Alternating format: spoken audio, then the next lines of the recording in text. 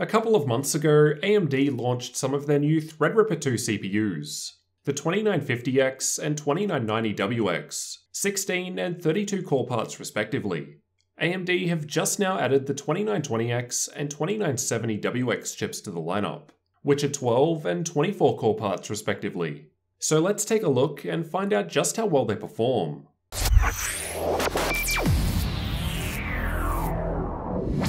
Let's start off by taking a look at the specs of these two CPUs.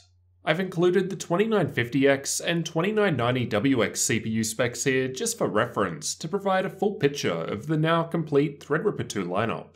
However, I didn't have them available for this testing. Like the previous second generation chips, these ones will work fine in existing X399 motherboards too, although you'll want to grab the latest version of the Ryzen Master software.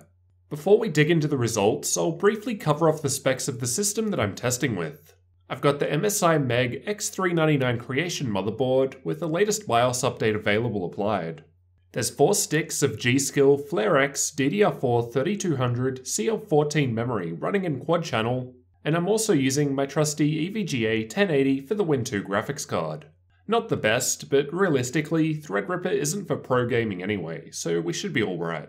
For the CPU cooler, I'm using the Enermax LiqTech 240, with its included thermal paste, as that's what was available. So both the 2920X and 2970WX CPUs were tested in the same system and conditions. Everything was packed into my Thermaltake View 71 case, as this is the only EATX case I've got. You'll have to excuse the mess, I got set up pretty hastily as I'm late to this party and was keen to get the testing done after being away for PAX. Both CPUs were tested at stock speeds, while manually overclocked and with Precision Boost Overdrive enabled. Although keep in mind that the overclocks on your particular CPU will vary anyway based on many other factors such as cooling and the silicon lottery. With that in mind, I was able to get my 2920X to 4.2 GHz at 1.35 volts on all 12 cores, and the 2970WX to 4.1 GHz on all 24 cores at 1.36 volts and overclocking was just done using the Ryzen Master software. I didn't spend too much time trying to improve and tweak the overclocks though, so they could probably be dialed in a bit better. For instance, I almost had the 2970WX stable at 4.2 GHz, but after a long blender test it would fail, so I dropped back down to 4.1. Precision Boost Overdrive, on the other hand, is a new feature present in Threadripper 2. Basically, it automatically increases frequency and power limits like overclocking, but also still lets us use Precision Boost 2 and XFR2, so we might actually get better results compared to the manual all-core overclocks, particularly in single-threaded workloads, where the cores can still boost above what I'd be setting with my lower all-core overclocks. Unfortunately, like overclocking, this does void your warranty, although it's not exactly clear if anyone can actually determine you've done this. Just before we get into the results, I'll also note that with these two new Threadripper chips, AMD has released an update called Dynamic Local Mode, or DLM for short. Essentially, this is new software that's included with version 1.5 of the Ryzen Master software, which automatically migrates the most demanding processors onto cores with local memory access for the 2970WX and 2990WX processors. This means that applications that prefer local memory should automatically get it, without you having to manually swap between distributed and local modes, which affect the entire system and require a reboot to apply. So in most cases, we should see worse performance with DLM off, as we're relying purely on the Windows scheduler. Alright, that's a lot of explanation, now for those results. We'll start out with the CPU benchmarks, followed by some games afterwards. These tests were all completed with the distributed memory access mode enabled through the Ryzen Master software, which is enabled by default and recommended for multi-core workloads. Kicking things off with Cinebench, straight away it's clear that the double core count of the 2970WX is pushing it far in front. The manual 4.1 GHz overclock gives us the best multi-core result. But as all cores have been set below what the chip could otherwise boost to, we're looking at slightly lower single core performance compared to with Precision Boost Overdrive, listed as PBO. Interestingly, we can also see DLM taking effect here. DLM was enabled as it was the default for all 2970WX tests, except for the result specifically listing it off. And we're getting slightly lower performance, 2% worse in the multi-core and almost 11% worse in single-core performance. Not much to say about the 2920X, performance scales up in the multi-core results as we apply PBO or our manual overclock. In Adobe Premiere, I've tested using the latest version, just exporting one of my laptop reviews at 1080p. Performance was generally the same for the most part, with the 2920X improving slightly as we enable PBO or manual overclocking. The 2970WX is more interesting though. While the manual overclock does give us an improvement over stock, PBO was consistently giving me much slower performance than even stock. Though with DLM off, the 24 core chip is giving us the worst performance out of all tests. I've also tested the warp stabilizer effect in Adobe Premiere. Granted, I only did a single instance, rather than multiple at once. This is only the second time I've included this test, and I don't have a standard method for testing multiple instances, which would likely take better advantage of the additional cores. In any case, the 2920X performed a fair bit better in this test, even with DLM on and the 2970WX overclocked. Handbrake was tested by converting a 4K video file to 1080p and then a separate 1080p file to 720p. For the 4K exports, the 2920X was performing the best, although the differences close in together on the 2970WX with PBO or overclocking applied. The 2920X was also performing better with the 1080p video file, at least until we apply PBO or manual overclocking, where the 24 core chip finally takes the lead, performing almost 8% ahead of the best 2920X result. The Corona benchmark renders a scene using the CPU, and straight away in this one, we can see a big performance boost with the 2970WX. For some reason, I actually had better performance with DLM disabled in this test, where it matched the PBO and manual overclocking results. The 2920X, on the other hand, was just seeing very slight improvements upon enabling the PBO and manual overclocking. Blender shows a similar result, and hopefully starts to give you an idea of the sort of workloads where the 24 core chip really shines, which is rendering. With the overclock applied on the 2970WX, there's an 11% improvement to the classroom benchmark at stock, and a 12% improvement in the BMW benchmark. To put things in perspective, at stock, the 2920X is around 42% slower than the 2970WX at stock in the Classroom benchmark, and around the same difference in the BMW benchmark. 7-zip was used to test compression and decompression speeds, and the 2920X was coming out ahead in all encryption tests, where the overclocking result from the 2970WX matches the stock 2920X. Decompression is another story though, with a noticeable performance uplift seen from the 24 core chip in all tests, which at stock speeds was performing around 44% better than the 2920X. Overclocking the 2970WX improves the decompression speed by about 7%, while the improvement on the 2920X was around 3%. Veracrypt was used to test AES encryption and decryption speeds. And this is another strange one, where the 2970WX was seeing very similar results to running it at stock with DLM disabled. While manually overclocked though, there was a noticeable improvement compared to stock speeds.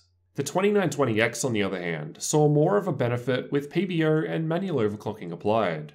Otherwise, the 2920X was beating the 2970WX in all of these tests, showing that more cores are not really helping. In PC Mark 10, I've only bothered testing both chips at stock settings. As shown, we're only seeing a small 1.7% performance improvement with the 2970WX in this particular test. As we've seen, the performance can vary quite wildly depending on the specific test.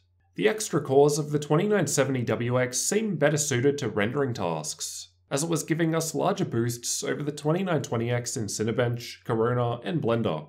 This was expected before going into the testing, as the same thing was seen a couple of months ago with the 32-core 2990WX and 16-core 2950X where these 24 and 32 core parts perform worse in some tests based on the architecture of the CPU. Now for some games. While I wouldn't recommend buying a Threadripper CPU purely for gaming, for many of us, such as myself, the reality is that we have one main system that we use. And while I don't primarily use my 1950X for gaming, I definitely do play games on it.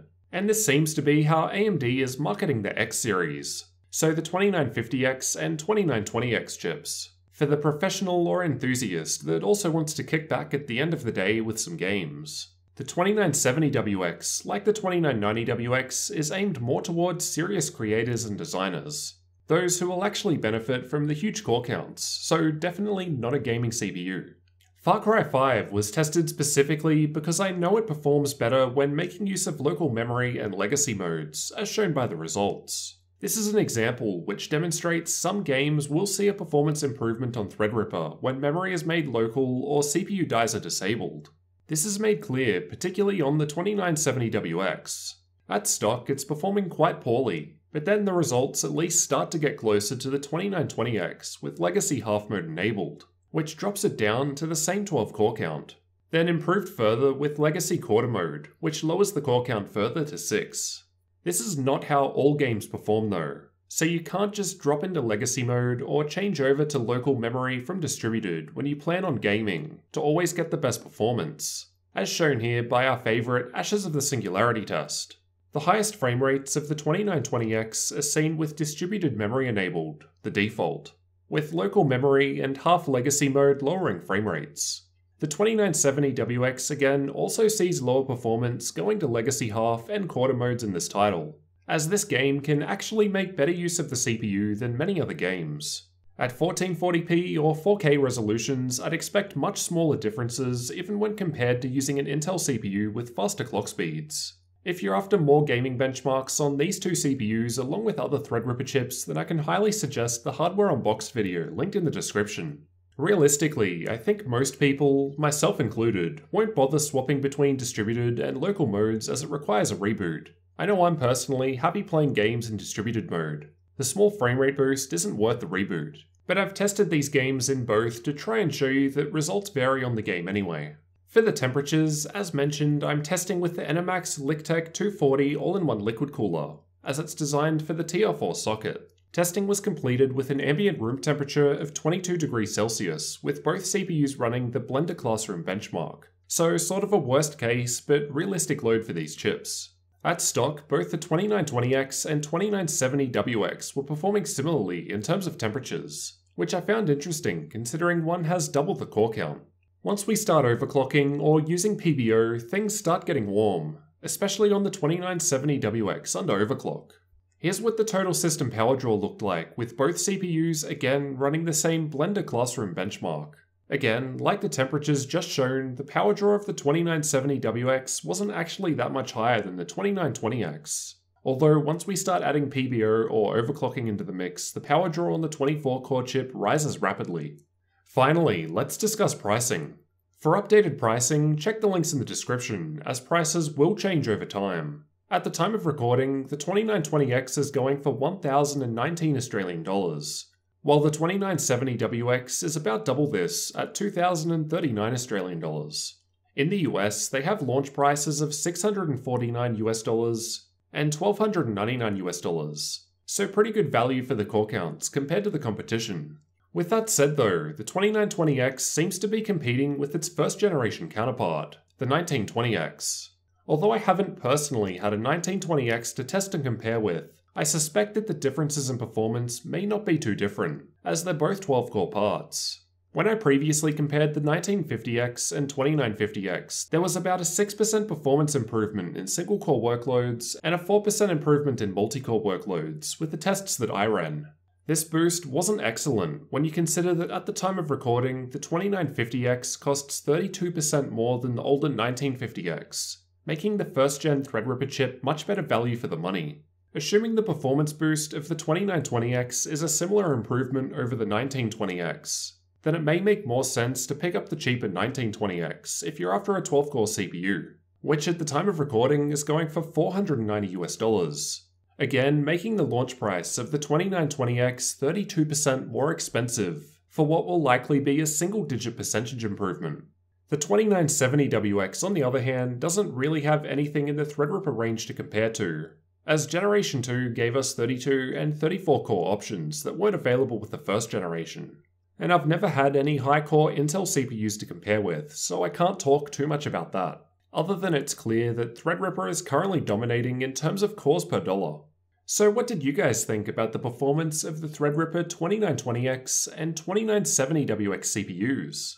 It's great that we've now got the rest of the Threadripper 2 CPUs available, with the 2920X becoming the entry point into the series. However, I am wondering how many will go for these new options when the discounted first generation options are looking so tempting at current prices. Let me know what you thought down in the comments, leave a like on the video if you found the information useful, and don't forget to subscribe for future tech videos like this one.